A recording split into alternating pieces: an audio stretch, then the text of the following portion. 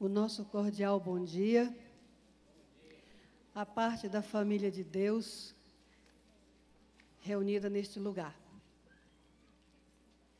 Eu sou feliz porque hoje posso estar aqui e repartir um pouquinho do meu conhecimento com vocês. E também vou poder aprender com alguns com os quais eu puder interagir. Eu quero agradecer a Anne essa oportunidade, esse privilégio ela é uma mulher visionária. No ano passado, mais ou menos entre março e abril, ela estava me convidando para eu estar nessa data do ano passado aqui com vocês. Eu disse, Ana, eu não posso. Eu já tenho essa data marcada com a outra igreja e eu não posso desmarcá-la. Então ela disse: então vamos colocar na agenda para o próximo ano. E há mais de um ano essa data está colocada na agenda para que nós pudéssemos estar aqui hoje. E confesso que, como ela me pediu ano passado a data, e já era de alguém, esse ano muitas igrejas também pelo Brasil me pediram a data. E eu disse: não posso, estou compromissada com o NASP. E aqui estamos hoje para cumprir a nossa promessa. Hoje à tarde nós vamos estar juntos, continuando o tema desta manhã, sobre a nossa denúncia sobre abuso e violência familiar. Vamos estar falando sobre Edelweiss, que significa branco precioso. O branco e a paz que devem as famílias viver. Vamos estar falando sobre a felicidade na família. Alguns têm esperado, irmãos, o dia em que o céu possa chegar e as pessoas possam ser muito felizes. Mas eu quero dizer para vocês que nós podemos viver a família, na família, o céu aqui. Não precisamos esperar somente o céu que vai chegar. O céu pode ser aqui se você aprende e você sabe viver dentro da sua família. Eu sou feliz pela família que tenho. E as pessoas que têm se agregado à minha família, elas têm dito que também são felizes por pertencer à nossa família. Nós procuramos viver a harmonia e a unidade familiar segundo o conselho bíblico. E gostaríamos de convidá-los para que estivessem conosco hoje à tarde no residencial feminino às três horas da tarde. O que nós vamos falar aqui é vergonhoso. Destas coisas diz o apóstolo Paulo que não deveria nem haver menção entre nós. Nós somos o povo de Deus. Elas não deveriam existir. Mas, infelizmente, por causa da história do pecado, estas coisas existem entre nós: abuso e violência. Eu confesso que eu trabalho com isso todo dia. E é muito ruim escutar as histórias das pessoas, o sofrimento das pessoas. E é muito difícil conviver com isso. Mas é preciso ensinar, e por isso eu trabalho. Eu quero abrir com vocês a palavra do Senhor no livro de Malaquias, no capítulo 2 e no verso 16. Malaquias, capítulo 2 e o verso 16.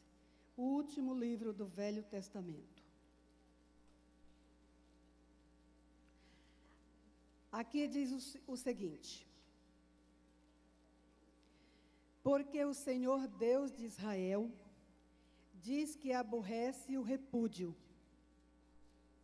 Primeira coisa que Deus aborrece, em outras traduções por aí tem odeia. Porque eu, o santo de Israel, odeio o repúdio. O repúdio é o divórcio.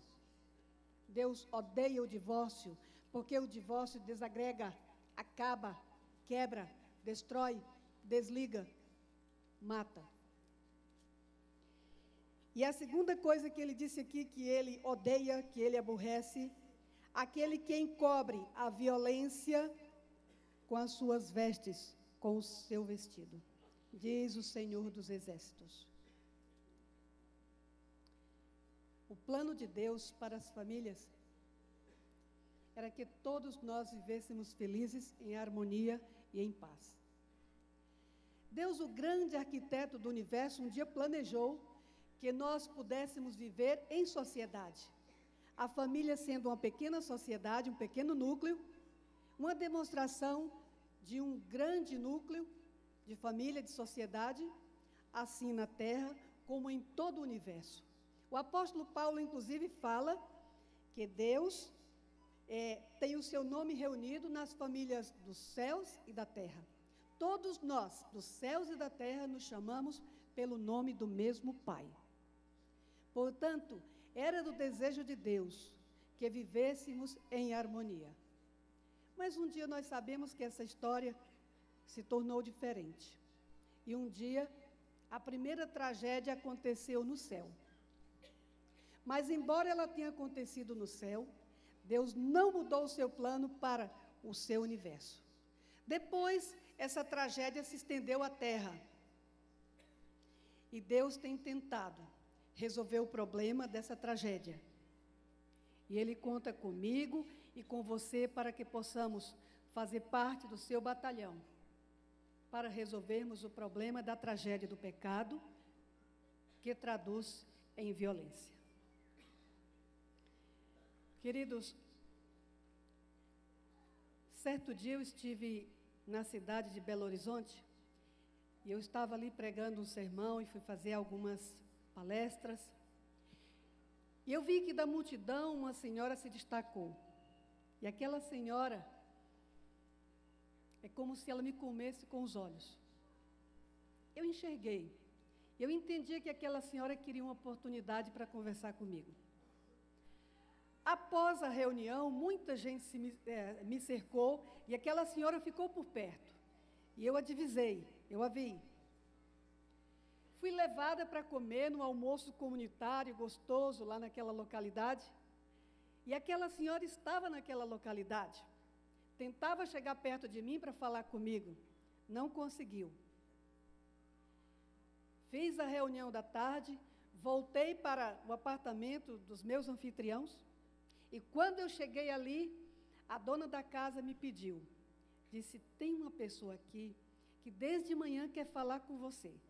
E nós gostaríamos que você desse um pouquinho do seu tempo para ela. E eu disse: Pois não.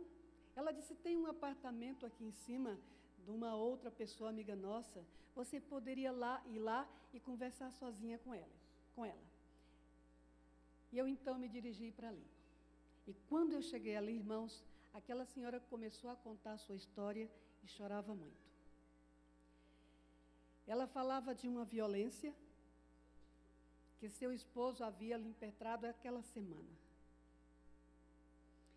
Queridos irmãos, aquela mulher contava de quanto tempo ela já vinha sofrendo o abuso na sua família. O seu marido começou aquele abuso com pequenas estratégias. Eu gostaria de colocar aqui no vídeo para vocês verem ah, o próximo slide. O que, que é abuso físico? Vamos ver o que, que é abuso físico. Comportamento agressivo contra o corpo da vítima. Tais comportamentos incluem, vamos ver o que inclui é empurrar, sabe?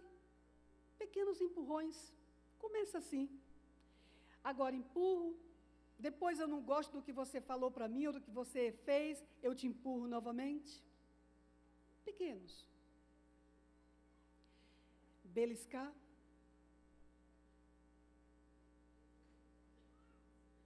Algumas crianças crescem no nosso meio, mas quando elas atingem a idade da identidade, na adolescência, elas vão embora, porque os seus pais têm esse costume de beliscá-las dentro da igreja. E elas compreendem que esse lugar é um lugar onde elas sofrem dor. Então, quando elas aprendem, elas ficam maiores, elas aprendem aqui eu não quero ficar. Eu tenho minhas memórias sobre esse lugar. Beliscar é abuso físico, cuspir, chutar, morder, puxar o cabelo, esbofetear, golpear, sufocar, queimar, cacetear, esfaquear, jogar ácido, água fervendo objetos, inclusive introduzir agulhas. O que está muito na moda. Tudo isso é abuso físico. E naquele dia, escutando aquela senhora, ela dizia: O meu esposo começou exatamente como a senhora pregou nessa manhã. Ele começou me empurrando quando eu dizia alguma coisa que ele não gostava.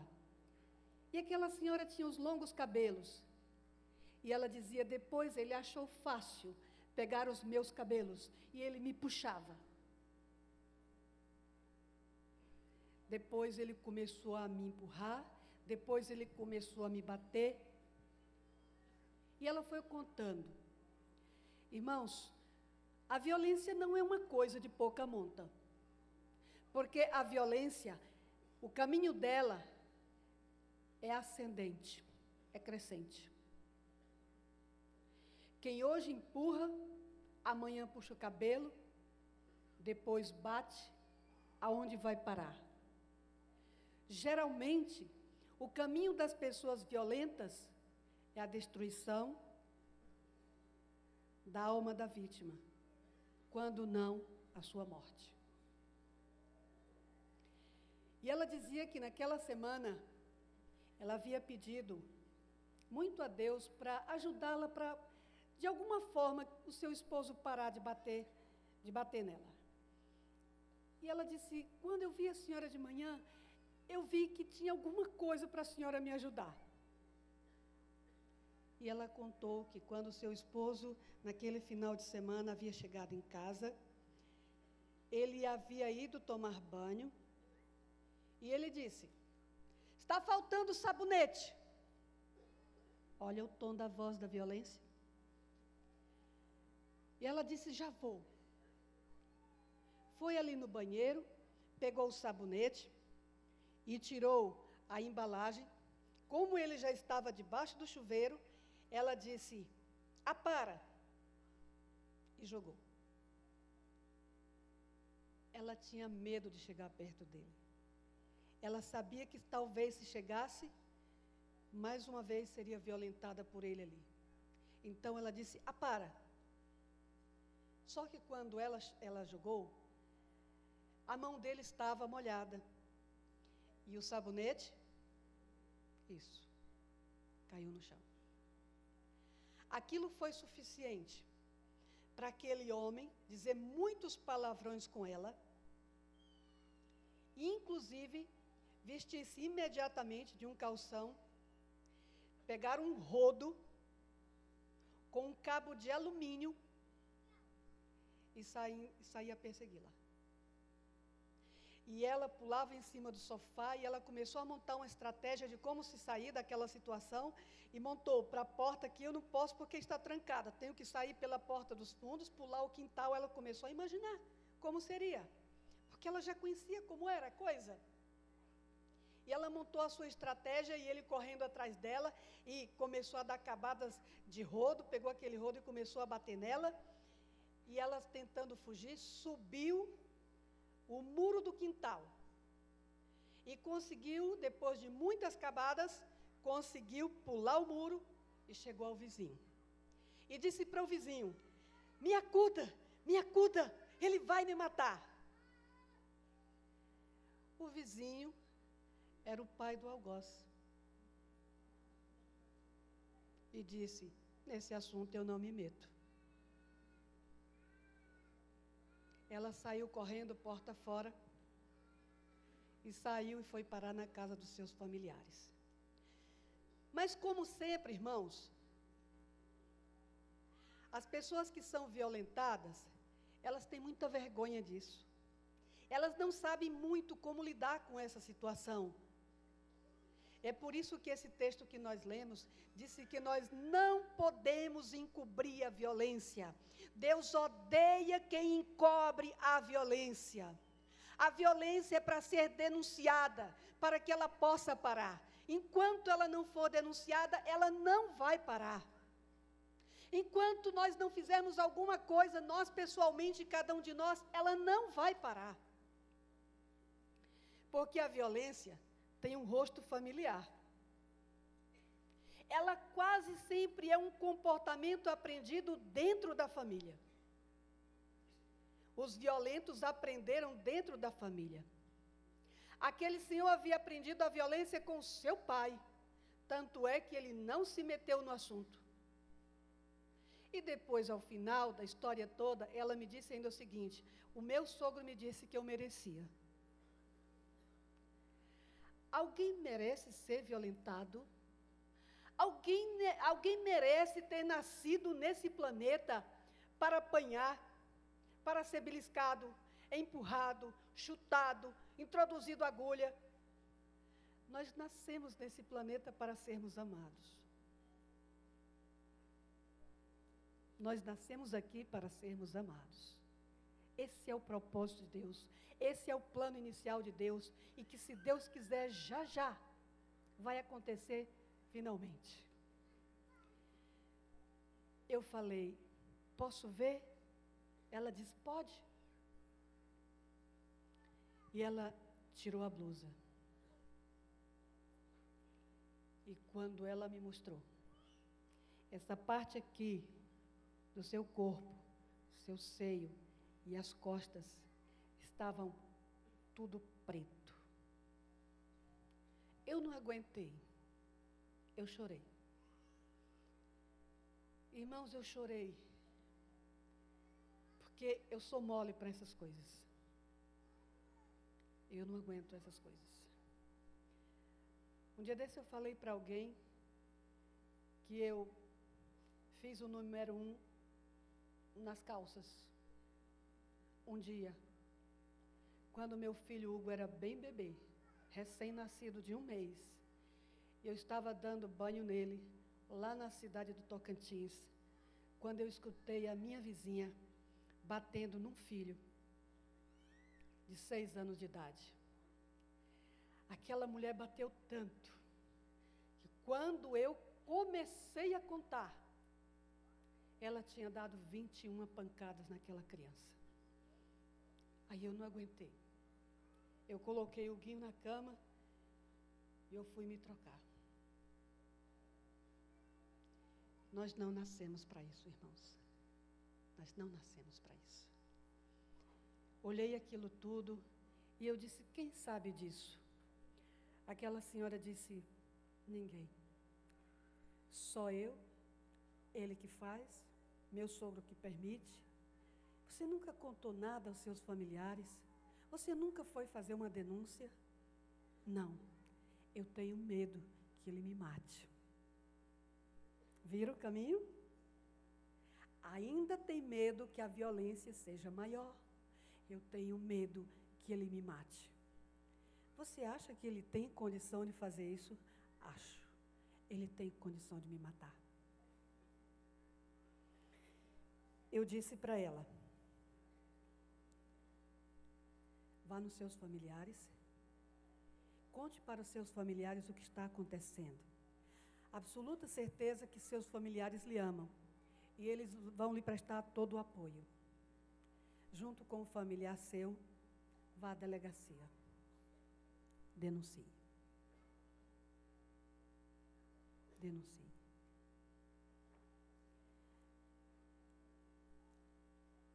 Irmãos, essa é a violência que mata, que destrói, que acaba, que acaba com tudo.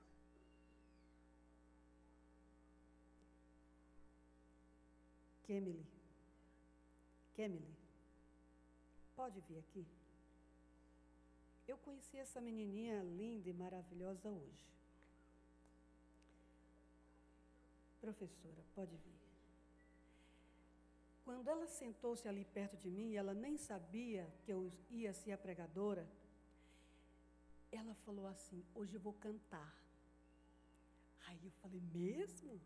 Ela disse: É, mas eu vou cantar só uma parte. Oh, que parte que você vai cantar? E ela começou a falar comigo. Aí ela disse assim: Tomara que eu não erre. Eu falei: se você errar, nós não vamos ligar. Porque nós sabemos que você vai querer fazer o seu melhor. A Kemily disse que o nome dela é incomum. Tem uma amiga até parecida ao nome, que se chama Emily, mas não é Kemily. Me contou alguma coisa da vida dela, assim, nos poucos segundos que estivemos juntos. Juntas. E aí, eu digo para vocês, olhem esse rostinho maravilhoso. E eu já tive crianças nessa idade. Alguns eram difíceis. Os de vocês também são. E alguns eu usei o método, sempre usei o método que a serva do Senhor disse. Não precisa de violência para ensinar os meninos, irmãos. É tão fácil ensinar esses meninos.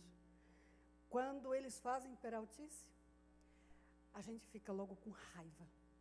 O sangue arde dentro de nós. Sabe o que temos que fazer? Tirá-los imediatamente da nossa vista. Senão nós vamos ser violentos com eles. A violência está dentro de nós, esperando a oportunidade. Então eu dizia assim: vá para dentro do banheiro. Não feche a porta, tá? Eles vão ficar fóbicos se vocês fecharem as portas. E eles ficavam por lá. E eu esperava passar raiva, que às vezes é coisa difícil. E eu esperava passar raiva. Aí eu até esquecia. Aí alguém falava assim: Mãe, você não vem? Aí eu dizia: é mesmo, eu tenho que ir. Então eu ia lá. Quando chegava, eu conversava, começava a conversar. Você sabe que fez errado, conversava. Aí depois uns olhinhos olhavam-se para mim e diziam assim: Mãe, perdoa. Até Jesus perdoa. Aí eu dizia, mais essa vez, eu vou te perdoar. O que, que você vai fazer a próxima vez? Não vou mais fazer. Não vou mais fazer, mamãe? Tá bom. Fica mais um pouco aí, depois você sai. Tem um deles aqui me assistindo. Está sentado aqui. Era assim que a gente resolvia as coisas lá em casa. Não precisa puxar cabelo, não precisa beliscar, não precisa gritar, desesperar-se, arrancar pedaço. Eles são lindos, irmãos. Quem dera que o tempo não passasse. Quem dera que eles ficassem sempre assim, pequenininhos como um grãozinho de feijão.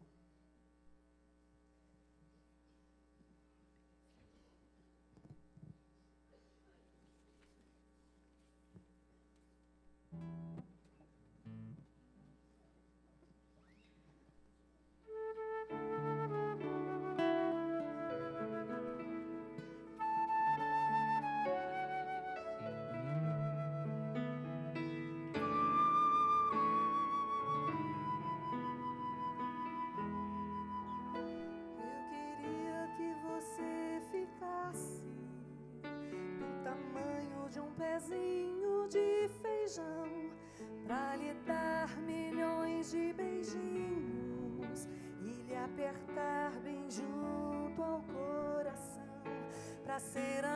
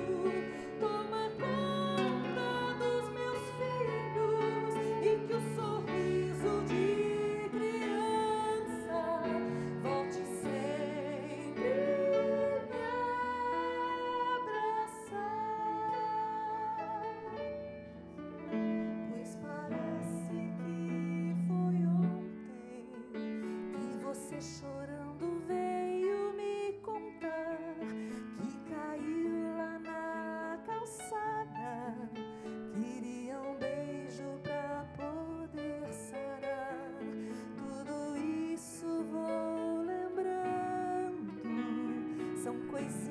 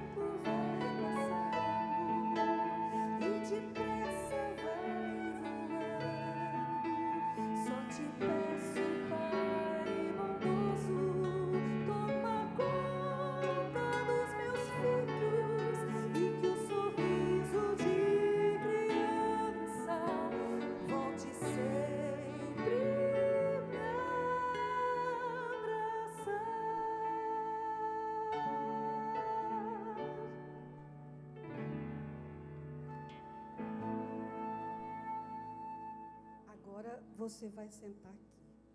Olha que privilégio. Você vai terminar de escutar o sermão aqui, tá? Eles cresceram, os de vocês vão crescer. Eu fazia aquele grande tabuleiro de bolo. Tinha duas geladeiras. E aí eu deixava na pia, esperando que o tabuleiro esfriasse, para colocar algum confeite, algum recheio. Mas quando eu chegava de volta, olha lá os dedinhos. Tinha ido tudo. Eu dizia: cadê o bolo? Tinham comido. Bolo é para ser feito, é feito para ser comido mesmo. Não é para a criança apanhar porque meteu o dedo no bolo. Não deu tempo, tudo bem. Eu faço outro. Irmãos, o tempo passa, nossos filhos crescem. Às vezes eu gosto de dizer a expressão que o povo ri, mas é verdade. Velho não tem futuro. Não tem futuro. Porque quando o velho olha para frente, para o futuro, ele só vê a sepultura. Então ele tem que ficar olhando para o seu passado. Porque o passado dele foi alguma coisa que ele semeou, alguma coisa de bom e tal, para lembrar. Por isso o velho só fala assim: no meu tempo, no meu tempo. Queridos, que será que nós estamos semeando com os nossos filhos para lembrar no meu tempo? Do que mesmo nós vamos viver? De que tipo de lembranças nós vamos viver? Da lembrança da violência? Da violência, da, da lembrança das surras? Da lembrança dos beliscões? Da lembrança dos puxões de orelha? Do que mesmo nós vamos lembrar que nós plantamos na vida das nossas crianças? Que vamos lembrar do que fizemos um para com o outro? o que você fez com seu esposo, o que você fez com a sua esposa, como você lidou com seu vizinho. Do que nós vamos viver? A palavra de Deus é para ser cumprida à risca. Quando Deus diz a forma como nós devemos viver, é assim, sem nos desviar nem para a direita e nem para a esquerda. Mas às vezes, o pecado e as circunstâncias fazem com que alguns se desviem. E esses são merecedores de misericórdia, piedade, e não da nossa afronta, não da nossa violência. Certa vez, uma moça da nossa igreja casou-se com um moço que não era da igreja. As promessas são muitas que os moços se fazem nessa época da vida. Eu vou te amar para sempre, eu vou cuidar, eu vou lhe proteger sempre. Você sempre pode contar comigo. Mas às vezes as coisas caminham no casamento e não chegam a se realizar da forma como prometeram. E aquele moço era um moço que tinha um modelo de violência na sua família. O casal chegou a ter duas crianças, um menino e uma menina. A menina, por volta já de sete anos. O menino, por volta de três anos. Um dia, a família foi para o sítio. E ali no sítio, num determinado momento, o pai foi atrelar um animal numa carroça. E o pai, como de costume, a mais velha jamais sábia na violência do pai, o pai gritou com as crianças: Saiam daqui! Já para dentro! A maiorzinha, intimidada, imediatamente chispou. Foi embora. O menorzinho não. Ficou. Três anos de idade, eles estão no processo de aprendizagem. Três anos de idade, nós temos que continuar exercendo com eles clemência e usando a primeira lei da aprendizagem, que se chama repetição. As crianças aprendem por repetição. Tem que repetir, repetir, repetir. Não tem que bater, bater, bater. Tem que ensinar, ensinar, falar, falar de novo, de novo, mais uma vez, vinte vezes, o quanto for preciso. Eles vão aprender. Alguns dizem assim: não aprendem. Aprendem. Vocês têm alguns cachorrinhos em casa. Eu já tive um, um cachorrinho pudo e agora estou tendo outro. O nome dele colocamos de Pepe.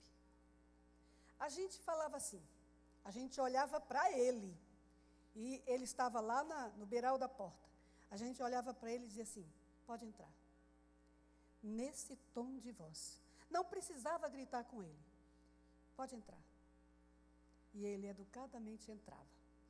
Ficava ali em pé, perto do sofá. Ele estava esperando o próximo comando. Sobe. Aí ele subia. Ficava de soslaio olhando para a gente. Será que vai me mandar descer? Ficava logo olhando. Se mandasse descer imediatamente, desce. Ele descia. Sai. E alguns comandos assim. Ora, se até os animais que nós chamamos de irracionais, aprendem, porque os seres humanos não aprendem. Quem foi que disse a você que uma criança não aprende depois de você muito repetir? Que o seu adolescente não aprende depois de você muito repetir? Aprendem. Mas aquele homem era daqueles que dizia assim: Eu só quero olhar Alguns contam isso como vantagem, não é? Eu escuto essas pessoas assim, eu digo, hum, hum, são violentos dentro de si. Só quero olhar. Queridos, aquele homem também só queria olhar. E como aquela criança, ele não repetiu e aquela criança continuou ali, ele bateu naquela criança com a sua forte mão de adulto no ouvido de uma criança de três anos de idade. E bateu e disse: Vá para dentro, Vá para o seu quarto. Aquela criança saiu chorando, irmãos. E aquela criança foi para dentro. E quando chegou lá dentro, a mãe veio acudir e disse: O que foi? A criança não conseguia falar, estava chorando muito. O pai veio logo em seguida. Porque essas pessoas violentas são assim, irmãos. Eles produzem a dor e ainda querem que você se cale. Cala a boca. Cala a boca. Não chora. Eu trabalho com homens e mulheres de choro, de choro engolido. Engole o choro. Ai, irmãos, me arrepio até em falar isso. Como produzem dor no ser humano. E o choro é a expressão, uma das formas da expressão da dor. E como é que a pessoa quer que o outro não chore? Engole o choro. Tantos homens e mulheres adoecidos hoje, porque engoliram o choro, não podiam nem chorar na presença de seus algozes. A mãe pegou a criança e quando a mãe tentava acalentar a criança, o algoz chegou. E disse: coloca no chão, coloca no chão. A mãe era uma mulher violentada também. Não tinha condição de fazer diferente. Colocou a criança no chão.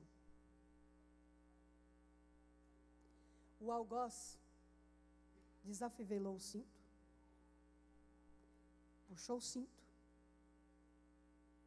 e começou a bater naquela criança. Cintada de força de homem num bebê de três anos. Uma, duas, três, quatro, cinco. Aí o bebê caiu no chão. E a mãe gritando desesperada: Para, para, não faz isso. Quando ela gritava, recebia uma também. Isso é a violência, irmãos. É por isso que eu comecei esse sermão dizendo que destas coisas deveríamos ter vergonha e não precisaríamos, se nós todos amássemos e, e, e, vivêssemos como Deus pediu, não precisaríamos estar mencionando estas coisas num culto matutino. Mas é a forma que nós encontramos para denunciar essas coisas, para dizer que nós devemos parar com estas coisas e para dizer que, num momento como esse, nós estar, deveríamos estar todos louvando a Deus, exalçando o seu nome e não falando dessas coisas horríveis que acontecem entre nós. Aquele, aquela criança, quando caiu no chão, a mãe entrou no meio. A mãe pegou a criança e disse: Olha o que você fez. A criança havia desmaiado. A mãe pegou a criança desmaiada e disse: Vamos ter que levá-la para o médico. E ele disse: Eu não, leva você. Mas eles estavam no sítio. Ela não sabia dirigir. Ela pegou aquela criança e ela foi para a estrada que passava ali na porta do seu sítio. E ela pensou, ela raciocinou consigo: o primeiro carro que passar aqui, ou me leva ou me mata.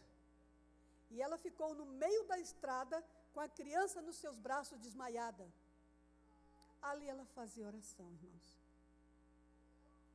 Pedia a Deus para cuidar do seu pequeno. O primeiro carro que passou foi um caminhão.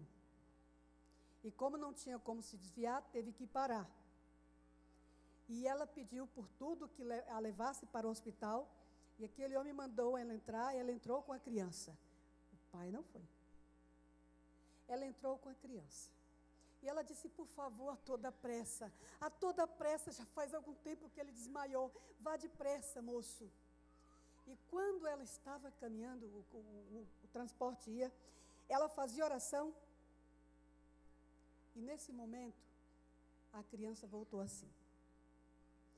Quando a criança voltou assim, a criança olhou para os olhos da mãe e disse: Mamãe, conta a tolha do céu. Conta a tolha do céu. Conta a história do céu. Que você faz numa hora dessas, não é?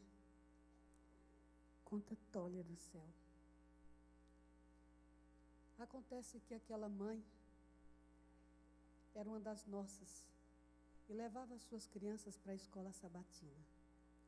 E aquela criança era uma das crianças que sentava numa das classes da escola sabatina nossa do jardim de infância. Ele era um dos nossos. A mãe começou a contar. Filhinho, quando a gente chegar no céu, você vai escorregar na tromba do elefante, vai ficar no pescoço da girafa, vai cavalgar no leão. Essas coisas que nós contamos, irmãos, para os nossos filhos, todo dia no cultozinho que nós fazemos com eles em casa. E quando ela contava essas coisas, a criança desmaiou de novo. Ela gritou desesperada: Depressa, moço, depressa, corre! E ele desmaiou de novo. Mas a criança voltou mais uma vez. Ela retornou. E ela repetiu a mesma frase. Ela estava convulsionando. E ela repetiu a mesma frase. Mamãe, conta a tolha do céu. Ela já chorando, desesperada, ela contava a história de novo. Filhinho, você vai escorregar na tromba do elefante, você vai cavalgar no leão, você vai brincar com a girafa, essas coisas que nós contamos para os nossos filhos. O caminhão chegou em frente ao hospital. A criança estava desmaiada mais uma vez. Ela adentrou aquele hospital e a primeira pessoa que ela encontrou de branco colocou a criança na, na, nas mãos daquela pessoa e pediu, por favor, depressa, me acuda, me acuda, depressa. Levaram a criança lá para dentro. E depois, alguém veio e disse: Desculpa, não deu. Ele morreu. A violência matou um dos nossos. Aquele menino era nosso.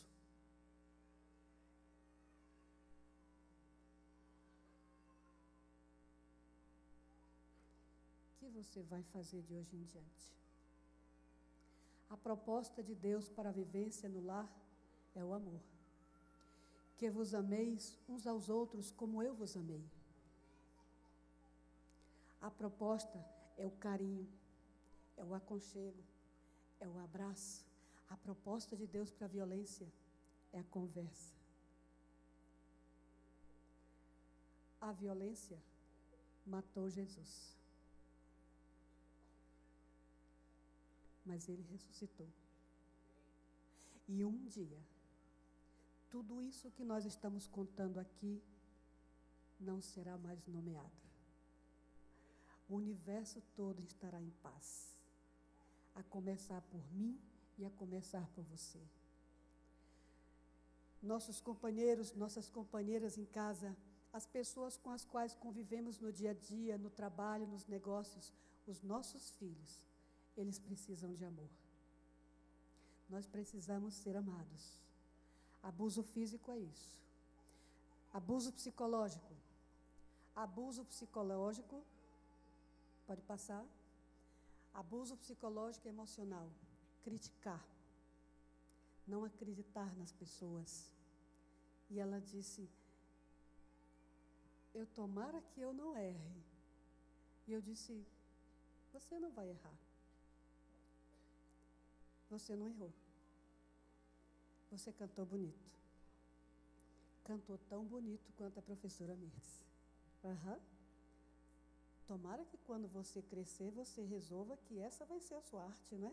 Cantar para louvar a Jesus. Tá? Criticar, chamar pessoa, as pessoas de palavrão por palavrões, xingar as pessoas, depreciar as pessoas. Alguns vivem tão depreciados pela vida que nunca mais se levantam. Abuso sexual. Abuso sexual. Abuso sexual pode passar. Tocar o corpo das pessoas sem que as pessoas queiram, sem que as pessoas consintam. Abuso sexual mata, destrói. Eu trabalhava numa penitenciária lá em Piracicaba. Estava tratando de um presidiário. E ele dizia: quando eu era menino, eu tinha um sonho de ganhar uma chuteira. Eu queria tanto, mas meus pais não tinham. Um dia, quando eu jogava lá no campinho com a meninada, um senhor chegou e ficou me olhando. E aquele homem veio me olhar muitas vezes. E um dia ele chegou perto de mim, me abraçou e disse assim: Você joga muito bem. Você devia ter uma chuteira. Ai, como eu gostaria de ter, mas eu não tenho chuteira. Vou trazer um, um par de chuteiras para você no próximo jogo. Ele sonhou com a chuteira, pensou, e a, o homem chegou com a chuteira. Tome a chuteira. Coloquei no pé, ficou lindo, doutora. O que você ia ser? Doutora, o meu sonho era ser piloto. Eu ia ser aviador. E o que aconteceu com seus sonhos? Por que você veio parar aqui? Até os 17 anos você estudou e foi muito bem nos estudos. O que aconteceu? Para transportar um caminhão de maconha da Bahia para São Paulo e ser preso assim, o que te aconteceu? Cadê teus sonhos? Ele disse, doutora, aquele homem acabou meus sonhos por um par de chuteiras.